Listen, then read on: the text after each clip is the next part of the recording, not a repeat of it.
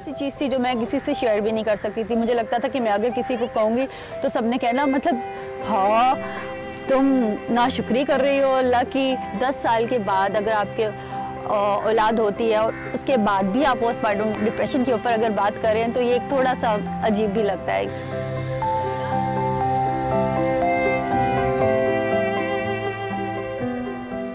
कभी कभी लगता था कि मुझे मुझे इसको देख के वैसी खुशी क्यों नहीं हो रही? मैं उदास क्यों हूँ? बस दफ़ा मैं उदास हो रही होती थी, बस दफ़ा मैं परेशान हो रही होती थी, बस दफ़ा मैं चिड़चिड़ी हो रही होती थी, बस दफ़ा मुझे गुस्सा आ रहा होता था, लेकिन समझ में नहीं आती थी कि मैं इतनी ज़्यादा, ये किस किस्म की सिचुएशन है?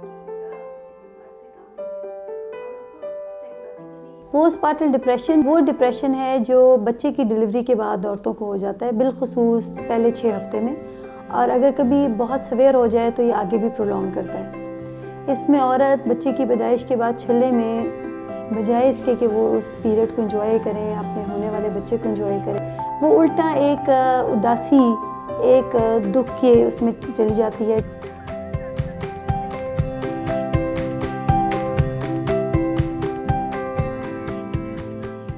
वाकई ये सिचुएशन इतनी हद तक जा सकती है कि एक खातून खुद को या अपने बच्चे को भी नुकसान पहुँचा सकती है।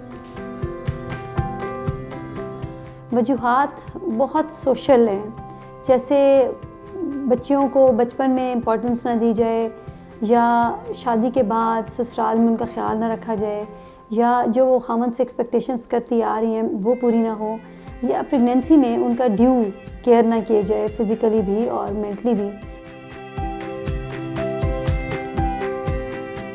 मैंने कोई मेडिकल हेल्प नहीं ली।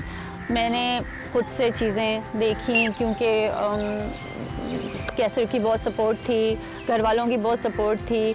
जो मैंने खुद से एक अपना तरीका निकाला था इसको ख़त्म करने का तो मैंने शहरियार की फ़ोटोग्राफी शुरू कर दी थी। और वो मैं प्रॉम्स बना के सेट्स बना के तो it helped me a lot अपने डॉक्टर के पास जाएँ और इसका प्रॉपर इलाज कराएँ। इसका अगर वक्त पे इलाज किया जाए तो सिंपली सेशन से, सिंपली काउंसलिंग से सिंपली उसकी बात सुनने से ही मसले हल हो जाएँगे। कुछ मसलों में कुछ अरसे की दवाई देनी पड़ सकती है और सवेर प्रॉब्लम्स में तो छः छः महीने साल साल और बाजू का पेशेंट का एडमिशन बहुत रेयर है, लेकिन पेशेंट का एडमिशन भी करना पड़ सकता है।